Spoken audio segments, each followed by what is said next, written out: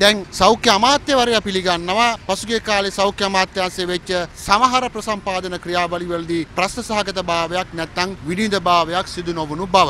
ඩලාස් හත්වැනි birthday mega sale සෙප්තැම්බර් 26 සිට ලක්ෂයකට ආසන්න අක්ෂිකාච මිලදී ගැනීමේදී රුපියල් කෝටි ගාණක් අවභාවිතා වන බව අපි පෙන්눔 කළා. අඩුම ලංසුව සමාගම වෙනුවට වැඩිම ලංසුව සමාගමකට ලබා දෙන උත්සාහයක් අපි අනාත කළා. ඒකෙදී අමාත්‍යංශ ලේකම්වරයාගේ කටයුතු සමහර ප්‍රසම්පාදන ක්‍රියාවලි වලදී චෙක්පත් ගනුදෙනු වෙච්ච අන්දම මේ සියල්ල අපි ලේඛන සහිත අපරාධ පරීක්ෂණ දෙපාර්තමේන්තුවට බාර දීමක් සිද්ධ කළා. දැන් අමාත්‍යාංශය අපට ආරංචි වෙනවා මේ ප්‍රශ්න සහගත අක්ෂිකාච ගනුදෙනුවට සම්බන්ධ වෙච්ච සමාගම් අතරේ මේ ගනුදෙනුව බෙදා දීමේ සැලැස්මක් තියෙනවද කියන කරුණ සම්බන්ධව ප්‍රශ්න මතුවෙලා තියෙනවා. සෞඛ්‍ය අධ්‍යක්ෂ ජනරාල් අසේල ගුණවර්ධන මාධ්‍යට ඇවිල්ලා කිව්වා මාස 6කට යක්ෂිකාච තියෙන බව. හැබැයි සෞඛ්‍ය අමාත්‍යවරයා එකපාරටම ඇවිල්ලා කිව්වා නෑ මාසයකට යක්ෂිකාච තියෙන්නේ කියලා. වෛද්‍ය සැපයුම් මේකේ දත්ත පද්ධතියට අනුව අක්ෂිකාච කිසිවක් නැති බව තමයි දර්ශනීය වුණේ.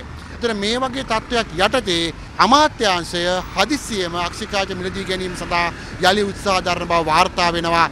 දැන් සිදුවෙන දේ තමයි අති විශාල මුදල් ගනුදෙනු සිදුවන ප්‍රසම්පාදන ක්‍රියාවලි හෙළි වුණාට පස්සේ ඒ සියලු දෙනා අතරම ඔයා අක්ෂිකාච ටික ගන්න, ඔයා සෙෆරොක්සින් ටික ගන්න, ඔයා ඉන්සියුලින් ටික ගන්න, ඔයා නිර්වින්දන ඖෂධ ටික ගන්න, ඔයා ශල්‍ය උපකරණ ටික ගන්න, ඔයා රසායනාගාර උපකරණ ටික ගන්න කියලා සමාගම් අතර බෙදා දීමේ ක්‍රමයක් නැත්නම් ඔයත් කන්න අපිත් කන්නම් ක්‍රමයට දැන් අමාත්‍යාංශය පත් වෙලා තියෙනවා. අපි ජනාධිපතිවරයා හමු වෙන්න බලාපොරොත්තු වෙනවා.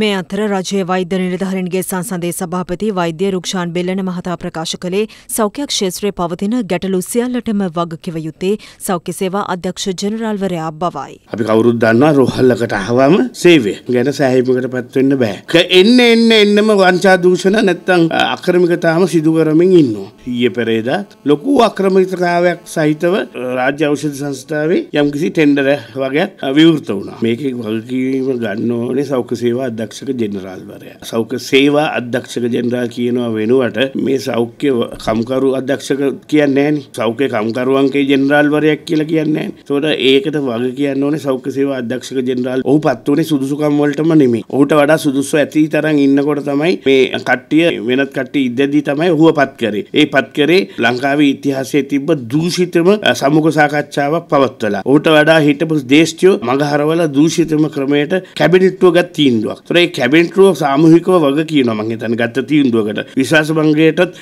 විරුද්ධව ඡන්දය දෙන කැබිනට්ටුවක් විශ්වාස භංගයට විරුද්ධව ඡන්දය දෙන පාර්ලිමේන්තුවක් තියෙන රටක අපිට මෙතනින් එහාට කතා කරන්න දෙයක් නැහැ. මේ අතර වෛද්‍ය ක්ෂේත්‍රයේ බුද්ධිගලණය තීව්‍ර වී ඇති බව විශේෂඥ වෛද්‍යවරුන්ගේ සංගමය පෙන්වා දෙනවා. සාමාන්‍ය 2800ක් විතර වෛද්‍යවරු විශේෂඥ වෛද්‍යවරු ලංකාවේ ඉන්න ඕනි. නමුත් දැනට ඉන්නේ 2100 ගාණක් වගේ තමයි ඉන්නේ. 600කට වගේ ආසන ප්‍රමාණයක පුරප්පාඩු තියෙනවා. වෛද්‍යවරු 272ක් විතර නිවාඩු ඇතුව රටින් පිට ගිහින් තියෙනවා. විශේෂඥ වෛද්‍යවරු. විශේෂඥ වෛද්‍යවරු තව 76ක් විතර සේවය අතහැර ගියයි කියලා අර VOP ගියයි කියලා ඒගොල්ලන් කියනවා. ඒ නිසා සාමාන්‍ය 350ක් විතර විශේෂඥ වෛද්‍යවරු සංඛ්‍යාවක් රටට අහිමි වෙලා තියෙනවා මේ 2022 ජනවාරි මාසයේ ඉඳලා ජූනි මාස දක්වා ඊට පස්සෙත් මම හිතන්නේ තව වෛද්‍යවරු ගිහින් තියෙනවා. මම හිතන්නේ මගේ පෞද්ගලිකයන් කියවෙන මීටත් වඩා වෛද්‍යවරු සමහරක් විට සුළු වශයෙන් හෝ පිටරට ගිහින් තියෙනවා.